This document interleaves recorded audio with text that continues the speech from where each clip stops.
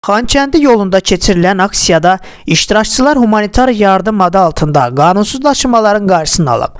Turkistan az xəbər verir ki, humanitar yüklərin daşınmasında indiyənə qədər heç bir problem yaşanmayıb.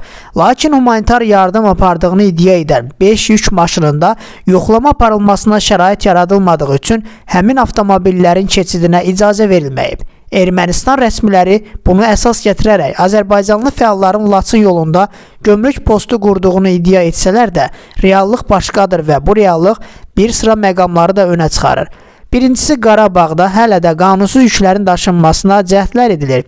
Aksiyanın ilk günlərindən belə daşımalar dayandırılsa da görünür, iştirakçıların humanist davranışından sui-istifadə etmək istəyiblər və istisna deyil ki, yoxlamağa imkan verilməyən yük maşınlarında silah sursat olub. İkincisi, qanunsuz daşınmaların qarşısını almağa hesablanmış bu yoxlamalar Azərbaycan xalqının Laçın yoluna nəzarətinin praktiki addımıdır və proseslərin inkişafı yolunda rəsmi şəkildə gömrük buraxılış məntəqəsinin qurulmasına doğru gedir.